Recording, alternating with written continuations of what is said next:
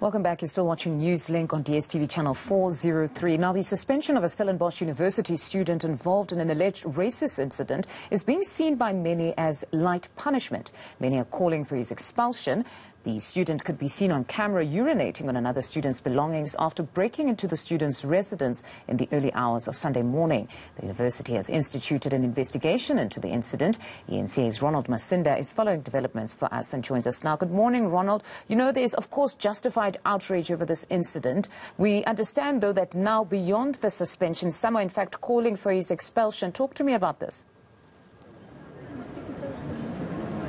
So quite a number of organizations all calling for the expulsion of this individual. What we do know, though, is that the Stellenbosch University is conducting its own investigation. They have suspended this individual, uh, but we could also hear talks, uh, about people calling for criminal charges to be implemented against this particular individual. But what we heard earlier this morning from the Stellenbosch University is that they are also uh, allowing this uh, victim to receive much needed counseling.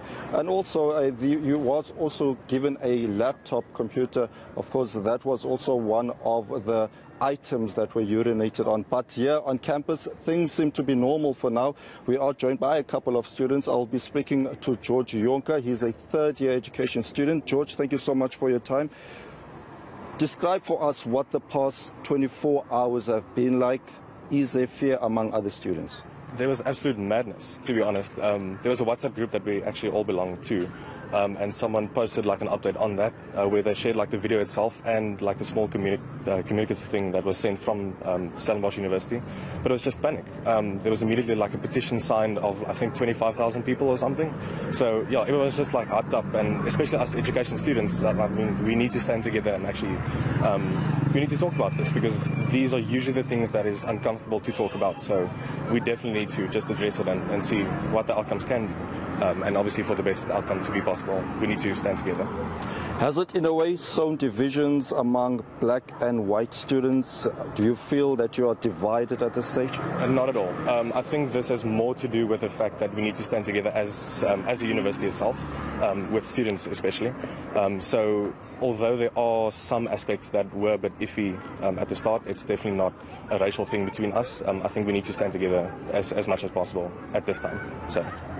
Are you calling for this particular individual to be suspended or expelled eventually? We know he's suspended. Definitely expelled. Um, again, as I said, we got that communicative thing from the university um, saying that he was suspended, but I don't think that's that's a solution at all. Um, his actions should be justified accordingly. So definitely expulsion. And uh, just in your view, I mean, you've studied here for three years now. Does this particular incident come as a surprise? Because we've heard from several um, other organizations saying that quite a number of these uh, incidents are not reported.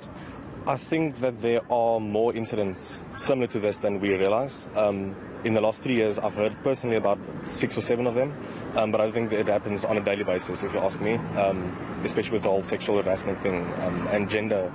It, yeah, it's just it's issues upon issues that I think it's just swept under the carpet. So no, it's definitely more frequent than not.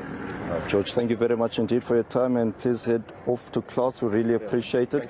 So that's the view from uh, one student here on campus uh, saying that it hasn't really uh, divided students, but it has left uh, quite a number of them uh, shocked. I don't know if you have uh, more time for me, Mfundo, but I would like to bring one more guest to just chat to us briefly on the events that have taken place here. Thank you very much for your time.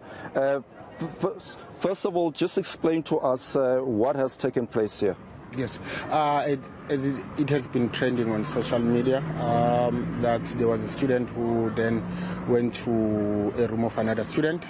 Uh, a student, a black student, but it was a white student who went there and uh, I don't know what happened, but he decided to just uh, pee on the study material of that particular student.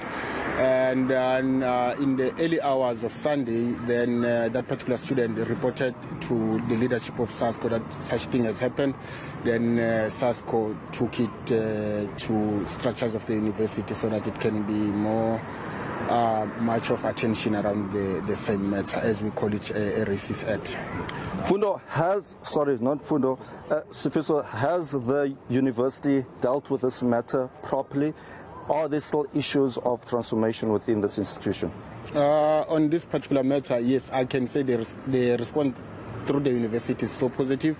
However, from the side of students is that they are not so much uh, uh, enough when they are going to suspend that student, but they want the student to be expelled from the university. But in terms of transformation, yes, there is a slow shift uh, compared to what Stellenbosch has been the past few years, uh, and now uh, I can say there is a sense of transformation as much as it's so slow. Yeah.